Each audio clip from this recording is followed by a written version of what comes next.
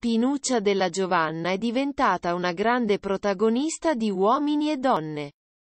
La dama di Vigevano si rende spesso protagonista di accesi litigi con Tina Cipollari e il suo forte interesse nei confronti di Alessandro Rausa genera non poche polemiche. In una nuova intervista sul magazine dedicato al programma di Maria De Filippi, Pinuccia torna a parlare del cavaliere e di cosa desidera da lui al momento. Innanzitutto ci tiene a precisare che tra loro dei baci ci sono stati.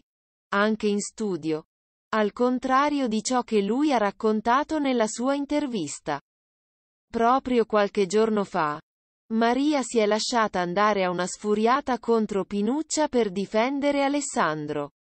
Ma la dama di Vigevano non si ferma e continua a sognare un futuro a fianco a lui. Ammette di essersi affezionata a Rausa. Perché è un uomo tanto gentile ed elegante, un po' come suo marito. Non le dispiace affatto che Rausa non voglia qualcosa in più di un'amicizia da lei. In realtà no. A me basta che lui mi telefoni e mi chieda di passare una giornata insieme. Magari di fare una bella cena.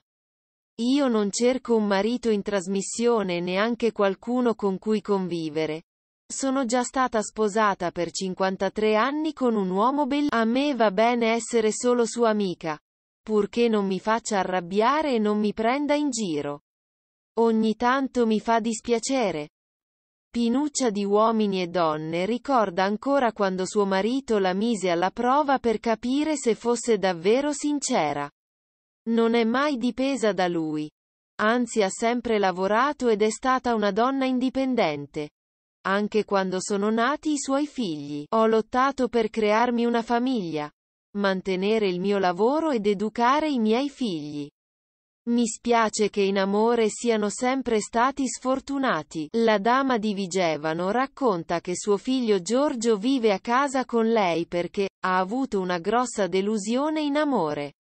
Sua figlia, invece, secondo quanto rivela Pinuccia, è stata lasciata con due figlie per un'altra donna. Della Giovanna crede che, quando manca un padre nella famiglia manca tutto.